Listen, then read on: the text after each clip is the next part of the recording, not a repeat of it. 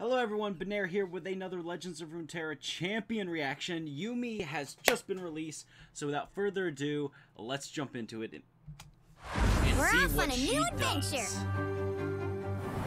I go. New keyword attach. Play me on an ally to give it my stats and keywords. While I'm attached, when that ally leaves play, recall me. Just like Yuumi does in League of Legends. And Yuumi, we can see right here, is a 3 mana Fae, which makes sense because she's a familiar. And she's a 2 2 with attach. Play me on an ally. Round start, uh, grant the unit I'm attached to plus 1 plus 1. Otherwise, grant me plus 1 plus 1 ins- instead. Uh, and her level up condition is I or the unit I'm attached to have attacked three plus times. Um. Ooh. Uh. Okay. Okay. So three mana to give a unit plus two plus two and round start plus one plus one. Three mana as a spell, as a as a slow speed spell three mana, give a plus two plus two bonus, then round start give plus one plus one. That's not bad at all, actually. Like, and and we haven't even seen the level up condition at all. So, yeah, I say that that's a perfectly reasonable. Where you go? All right. What was that?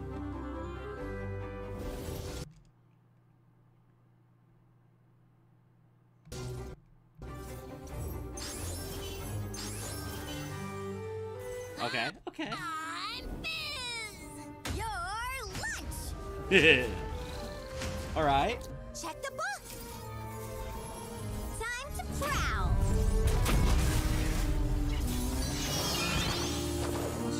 Plus one. Yep, yep. Uh, play me on an ally to give it my stats and keywords while I'm attached. All right, so it, it just has it's a two one, so four mana to give something plus two plus one and elusive. Okay.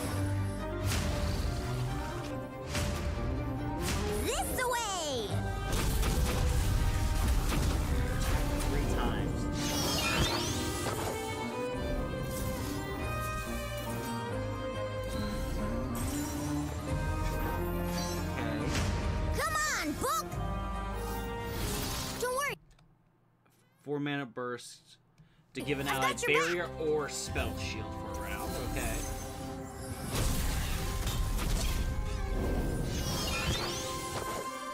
Today we say Playtime. I mean, uh, enough. Enough. Swat, swat. Zoom. bleed we must. What is Yuumi's level up though? Come on, let's see it.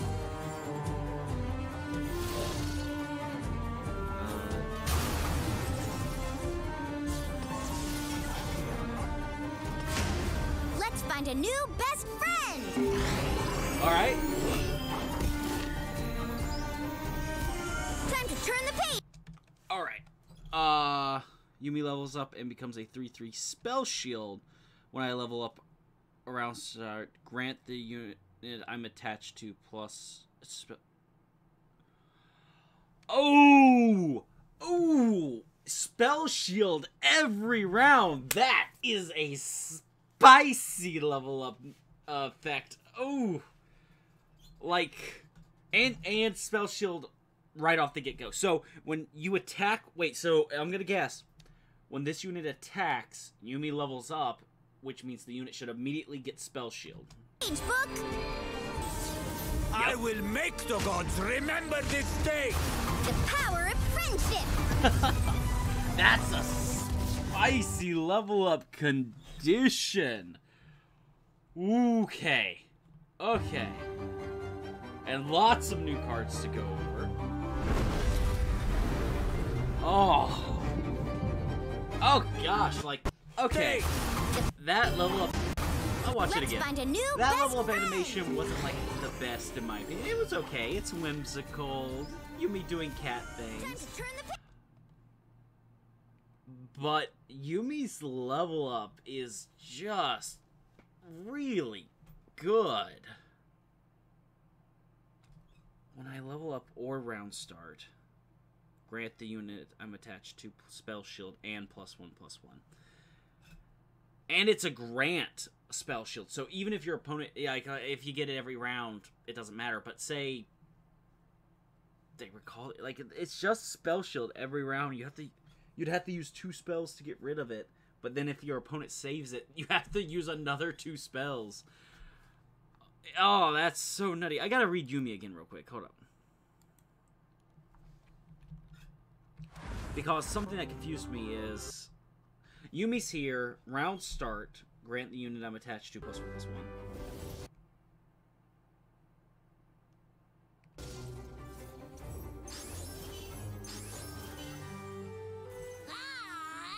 Ah, okay. Oh, okay, so what it's showing here is Okay, I get it now. I get it now. Um when you play an attached unit, you get the option to either play it as its normal self or to attach it. So that's what this is. And attaching triggers fated, and that's where the other plus one came from. For some reason, I thought Yuumi's effect was triggering right off the get-go, but no, putting this on triggered unit, uh, fated unit seems pretty good. Uh, but no, no, it looks really good, but let's go and see if we can't take a look at the rest of it. Thumbs up the video, and let's take a look at the rest of the cards. Twitter should have stuff for us. Yes, okay. Alright, so we have Yuumi, and we have leveled up Yuumi, and we also have Yuumi's champion spell, which is Prowling Projectile, which is a 2 mana fast speed spell. Deal 1 to a unit, period. Grant an ally plus 1 attack. 2 mana fast speed. To deal one and grant plus one. It's a nice spell. It's a nice spell. Uh, I don't think you'd ever main deck this card, but you could definitely you're you won't be sad to see it as a extra copy of Yuumi, for example. Especially if you're running her in a fated deck, just having another a target spell, it's nice. And sometimes you just need that one point of chip damage, like when an opponent barriers during your attack, you can pop barriers or spell shields with it. So it's not bad. And Yuumi again is actually really good because for three mana, you throw this down onto a unit and you give it plus two plus two, and about that's about it. Plus two plus two. And then you pass the turn and it gets plus one plus one. And you pass the turn and it gets plus one. That continuously getting plus one plus one is what makes it great. That and the fact that attach says that when the unit dies, like if your opponent vengeance the unit, Yuumi still just pops back to your hand. Yuumi doesn't die with the attached unit. It's it's a I like read Yuumi this way. If Yuumi was a spell that said grant an ally plus two plus two, and round start grant an ally that that same ally plus one plus one, and if that ally ever dies, return me to your hand for three mana, it'd be stupid. I I like this a whole heck of a lot, and I'm super super excited to try this attached out. Uh, the prowling projectile again is pretty good. I don't think it's main deckable, or there's better you could main deck, but because it's Yuumi's champion spell, it's a good thing because there is situations where dealing one's just good. It's just hard for me to imagine running this over mm, Pale Cascade, for example. And Yuumi, by the way, yes, I don't know if I mentioned it, is also a Targon Bandlewood champion. So, that makes sense. Let's go ahead and take a look at the next card. Um, Assistant Librarian, a 2 mana 2 2 fated. Oh, so we got more fated cards, which is really good. Nexus Strike, draw a spell that costs 3 or less. Ooh. Wait. Wait, that's River Shaper though. That's it's like a cheaper River Shaper that gets buffed. Okay. River Shaper. One second. One second. I got. I gotta look at this up. I gotta look this up. Uh, because River Shaper, I believe, does say just any spell. River Shaper is a three mana two two in Ionia that says when I Nexus Strike, draw any spell. I believe. Let me double check. Yeah, strike. oh, No, it's on strike. Okay, so River Shaper is one mana more, but he has he can strike anything, and he draws a spell.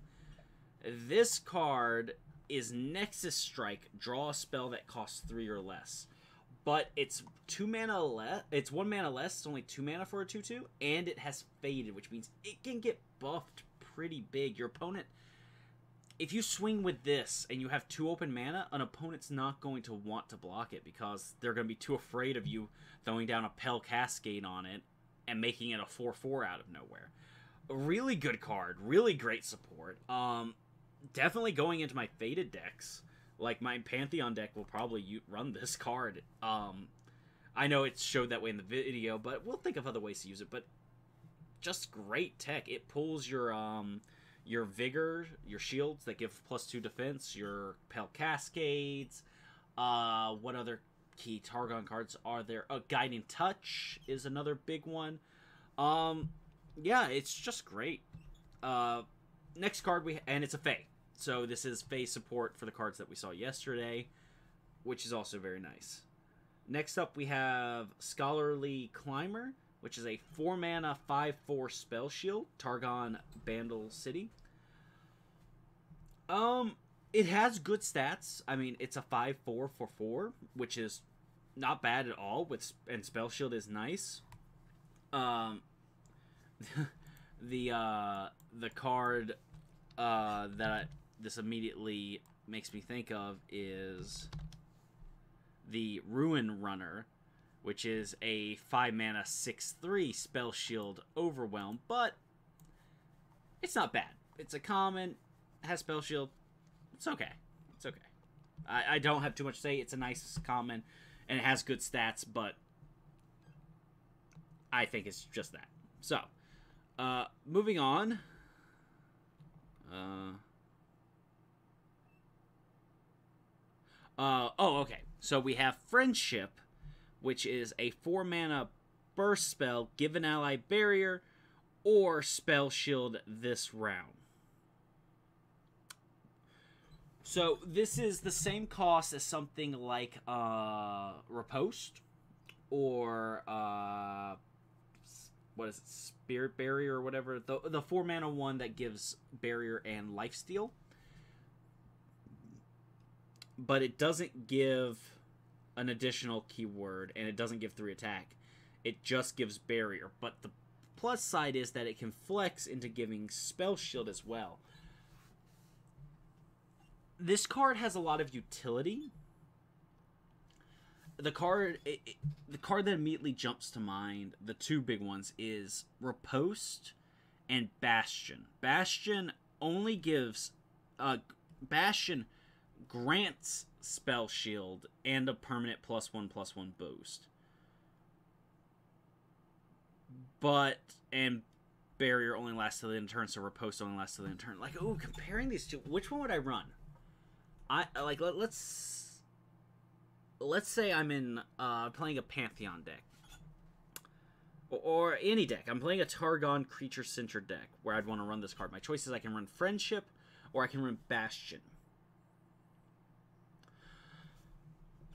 It doesn't give permanent spell shield and it doesn't give the attack bonus but at the end of the day if you're popping spell shield you're doing it in response to something right? Like you're doing it because your opponent's about to kill your creature. So sometimes you only need spell shield to last the one turn you need it because it's going to get popped anyway. So oh it's a tough decision. I think this card is as good as bastion. Definitely and I might even go as far to say that it's actually a little better because of the flexibility. Flexibility is king. I love it when a card can do more than one thing, and that's what this does. Bastion does a great job of permanently buffing your creature one attack and giving the permanent spell shield, but this card's utility can't be understated. Flexing into spell shield or barrier at 4 mana is a little pricey, but Targon doesn't have a lot of barrier cards. In fact, none really jump to mind. No card that gives barrier, really. So, you take what you can get in the regions you have. So if you're playing this in Bandle City Targon, that's your option. And yeah, you're losing out on the plus one attack, and but that's minimal. I like this card. Friendship is a win. Uh, now we got a whole bunch of Fae creatures being dropped. Uh, mm, all right, so let's just start at the end here. We have Rainbow Fish, which is a four mana two one elusive attach. Uh, four mana, grant an ally elusive and plus two plus one. Is not the worst. Again, if it's in your colors, it, there are better give elusive cards. I feel, but it is a permanent grant. So yeah, four mana is a little steep, but it's not the worst. Uh, you could definitely throw this onto your um, your Pantheon to give him elusive, and four mana give Pantheon plus two attack, one HP, and elusive is not bad at all. Plus, if Pantheon ever dies, this just comes back to your hand. The fact that these attach cards come back to hand gives them a lot more value, in my opinion, than they normally would. If it was a one and done effect, I don't know if it'd be worth it. But the card to compare this one to, of course, is Sumpworks Map. For two mana, you can grant an ally uh, elusive permanently. Is and two mana for two one worth of stats permanently is not a bad ratio. It is all bundled together though. So would I pay four mana for two one and elusive permanently? In the right deck, you would. Uh, this card's potential, I think, lies in the uh, card that we saw yesterday, which was the um.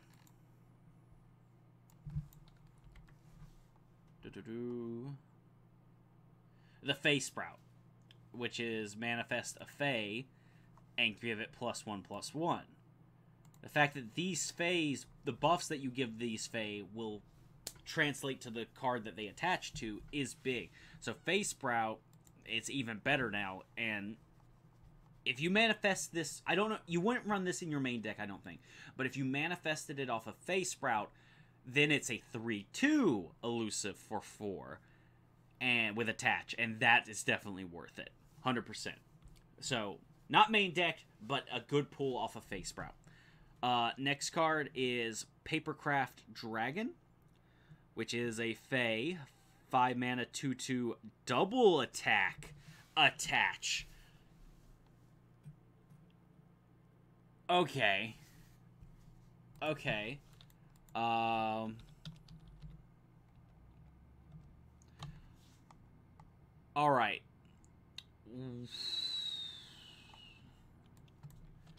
So, the card to compare this one to is Flurry of Fist. Flurry of Fist is 4 mana. Admittedly at burst speed, but 4 mana plus 1 attack and quick attack. If it already has quick attack, give it double attack instead. Instead, this is for 1 mana more, plus 2, plus 2, and just give the double attack. This is a better Flurry of Fist, and it's an epic. It's a good epic. I'll say it right now. This is a good. This is going to be an amazing finisher. Oh my god.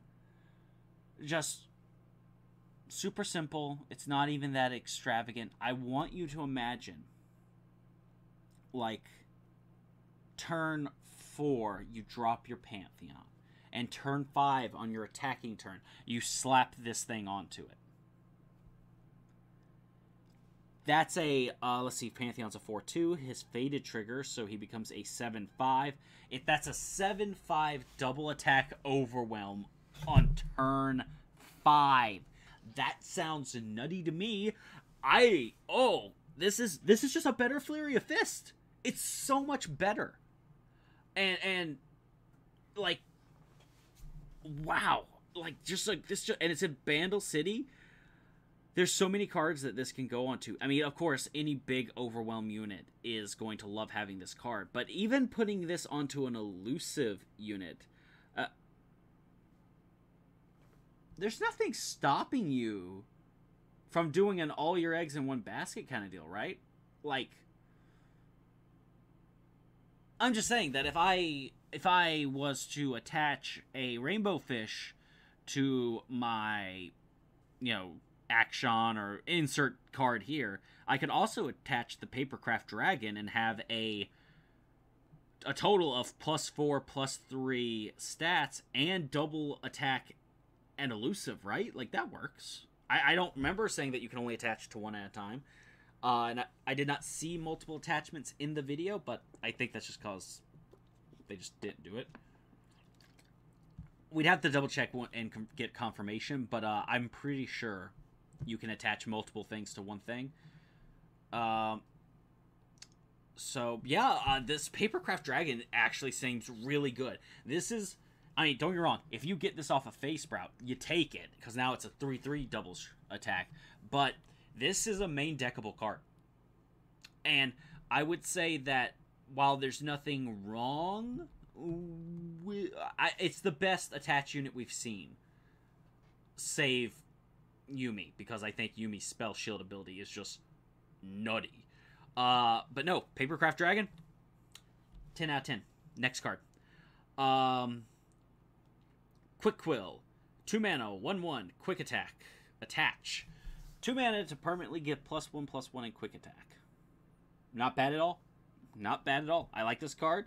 Uh, it's a very simple card. It's very straightforward. It gives an attack boost and quick attack. Again, if you get off a of Fae Sprout, it's even better. Um, yeah, Fae Sprout is definitely becoming a three of in a lot of these decks, so you can have options in which Fae you get. Because worst case scenario, you get a Loping Telescope, which is not a bad card. Best case scenario, you can get a Papercraft Dragon or a Quick Quill to give combat stats. It's great. Uh, really good card. Really straightforward. Moving on. Uh, Mushroom Ring. Three mana for a 2 2 quick attack. When I'm summoned or round start, give me power this round equal to the number of other allied Fae in play or attached.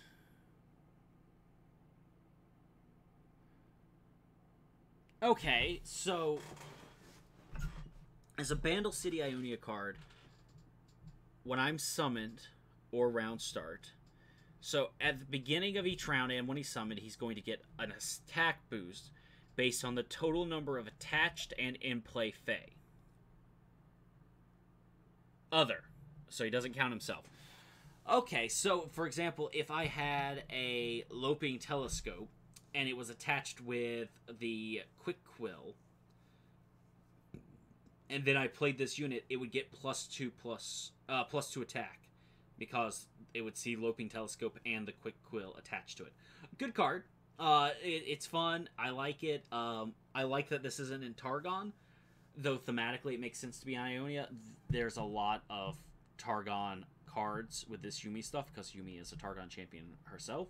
But I like that they branched into other regions with the Fae, specifically Ionia, which has a huge connection to the Fae in lore. So I like to see that it's not just all Targon Bandle City cards, which is good. And uh, that's everything. Okay uh, all the cards. Going back to Yuumi real quick because I know I talked a lot about her during the video, but just another recap because Yuumi is, I think, incredibly powerful. I think that this is a very big, big buff to certain archetypes what this strikes me immediately, what what immediately jumps to mind is there are the spell shield is nice, the raw stats is nice. Some other Legends of Runeterra players and YouTubers say that raw stats don't do anything. That that you're right. Raw stats don't win me the game. If I have a 50,000 50,000, it doesn't mean nothing if you have a 1-1 spider. But that 1-1 spider also ain't attacking into me now, is it? And therefore stats and, and stat, big stats are really useful on the right units. And in this case, there are a particular set of them. Dragons, because of their fury, lets them stay healthier than you expect. They get bigger and they get buffed as they kill things. So when you block the big unit, it gets bigger, and eventually you will run out of blockers.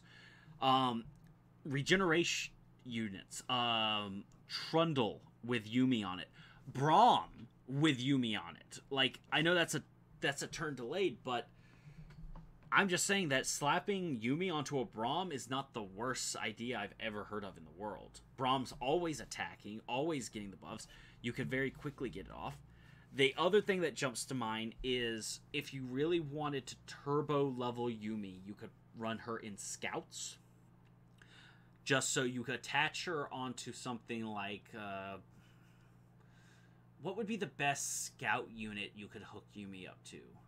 The unit itself will get plus two attacks and pl- plus two plus two from Yuumi right off the get go. So if you play the scout unit and the next turn you play Yuumi, what are we looking for? Quinn is, of course, one of them, but there's not a whole bunch, but you, you could scout. Is the idea behind it if you really want turbo? I don't think that's the best thing, but dragons and units with regeneration in particular seem really good.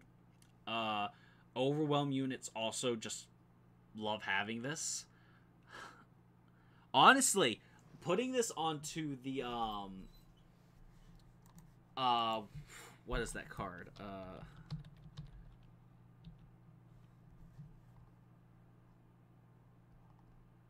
Give me a second. I'm looking for it. It's it's the it's a rare card from the Freljord. The the regenerate overwhelmed creature. It, putting this onto that is also a great idea. I feel because Yuumi will just constantly buff it up and it'll heal every turn, just getting bigger and bigger until it start. You have to vengeance it, but the problem is Yuumi. Uh, Yuumi gives spell shield after a while. Um, and the good thing is Yuumi doesn't have to see the three attacks um because if she if she said I've seen you attack three times with the attached unit or myself, she wouldn't be good because it's there's no innate protection until she levels up. But she she levels up fairly easily, I think. She levels up ideally on turn what seven. Turn seven, and that's when you want to be closing out games with your big unit anyway. Protects you from ruination, uh, a late game vengeance draw, uh, Will of Ionia. I mean, special protects you from like everything. So they have to answer her early, but she'll just keep getting played, keep getting reattached. I could see a Braum deck with her, or maybe Trundle. Um, Garen is just big stat stick the deck. Uh, that could also work. Um, Tar- uh, Targon specifically with Pantheon, as we saw in the video, sounds amazing. But she looks super fun and super interesting, and I'm going to love messing around and having deck concepts with her. Thank you. Uh, yeah, I'm gonna close it there. Thank you guys so much for watching. If you have any ideas that I didn't cover, or if you've heard an idea I did that you liked a lot and you want to see a deck built around it, please leave a comment down below, along with any other deck ideas you have with this that I haven't mentioned, because th- there's a lot to brainstorm with this concept. I like the attached mechanic. I like Papercraft Dragon. I like um, Papercraft Dragon, Friendship, Assistant Librarian, and Yuumi are kind of my top picks for these cards. They look great. Fae Sprout got even better. I haven't seen a terrible Fae yet. Like there are better ones than others, but they're all good. So yeah, just great Fae support, good stuff. Leave a comment down below. Let me know what you're thinking, and I will see you for the spoilers tomorrow.